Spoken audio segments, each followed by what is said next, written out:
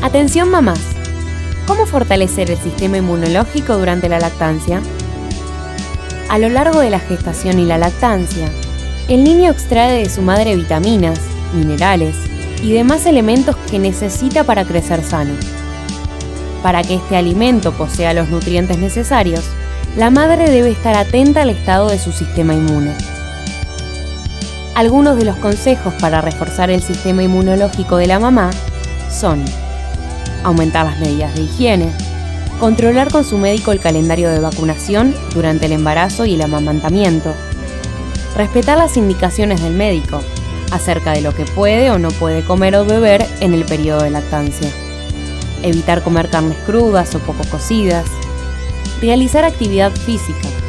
El deporte no solo es bueno para que la madre controle su peso y se mantenga sana, sino que además ayuda a reforzar el sistema inmune.